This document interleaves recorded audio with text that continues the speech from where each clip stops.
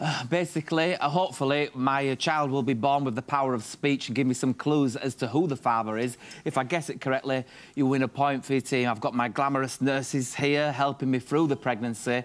I just want to say big up to Twitter. I did this for you. nice. Are